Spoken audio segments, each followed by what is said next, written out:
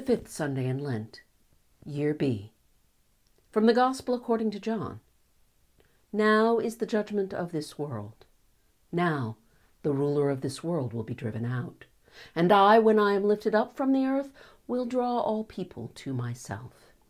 In the name of the one once lifted, even our Lord and Savior, Jesus Christ.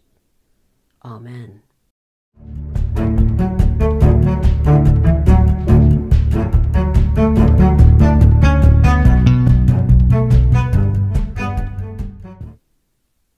Our readings for this week ask us to wrestle with notions of obedience.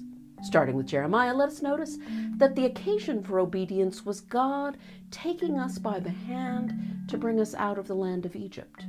In other words, the occasion for covenant is the move out of slavery into a mutual, if not equal, partnership with God.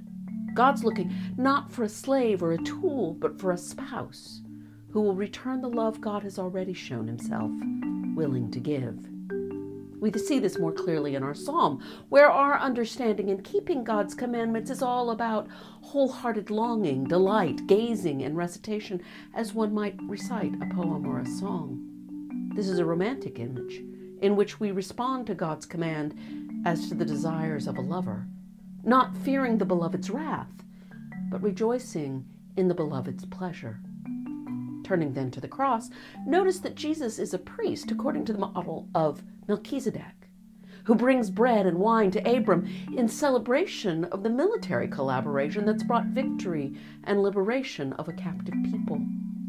By handing over his body and blood to us, while offering up prayers and supplications with loud cries and tears, Jesus blesses us in our mutual victory that has delivered our enemies, sin and death, into our hands. Jesus' soul is troubled, but he recognizes why he's come to this hour. In his battle to drive out the ruler of this world, he knows, and we know, that the Father saves him through resurrection, not evasion. Jesus' obedience is not about submission to violence. Indeed, the word submission is not even present in the Greek, which speaks only of reverence. The point is Jesus' willing participation, Jesus' embodiment of the partnership between divinity and humanity to vanquish our common enemy.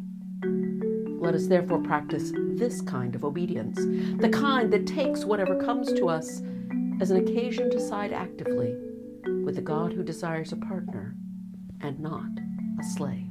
In the name of that God, the Father, the Son, and the Holy Spirit.